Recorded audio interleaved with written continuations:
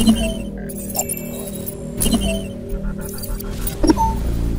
teman-teman semua dan selamat datang di Max Mew Channel. Pada kesempatan kali ini saya akan memberikan sebuah tutorial bagaimana caranya untuk melakukan setting save location new project secara default sehingga kita tidak perlu lagi mengatur tempat penyimpanan dari project yang kita buat di dalam CapCut PC.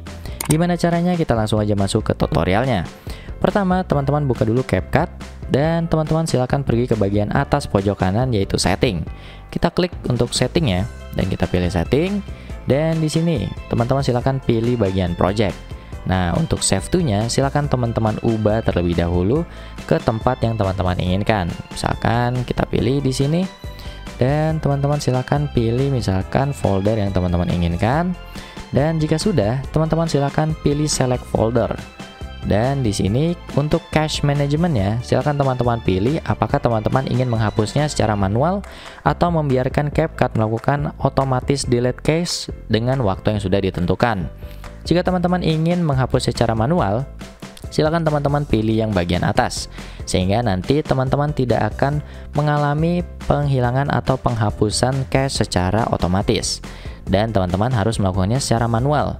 Dan jika teman-teman pilih yang auto delete cache, teman-teman akan menghapusnya secara otomatis dengan waktu yang ditentukan seperti yang ada di bagian sini yaitu 30 hari. Nah, teman-teman juga bisa mengubahnya untuk waktunya yang paling kecil yaitu 15 hari dan yang paling lama sekitar 90 hari. Silakan teman-teman pilih sesuai dengan kebutuhan. Dan di sini untuk cache size, teman-teman bisa lihat penggunaan dari cache yang sudah kita buat. Dan jika teman-teman ingin menghapusnya, silakan teman-teman pilih yang gambar tong sampah, kita klik dan kita pilih OK. Dan setelah itu teman-teman silakan save. Maka teman-teman sudah mengubah default location atau tempat penyimpanan project CapCut kalian di CapCut PC. Oke, jadi mungkin itu aja untuk tutorial kali ini. Semoga bisa membantu teman-teman semua pastinya. Jangan lupa untuk like video ini dan jangan lupa juga untuk subscribe Max Mew Channel karena ke depannya akan ada banyak tutorial menarik lainnya. Sampai jumpa di video selanjutnya.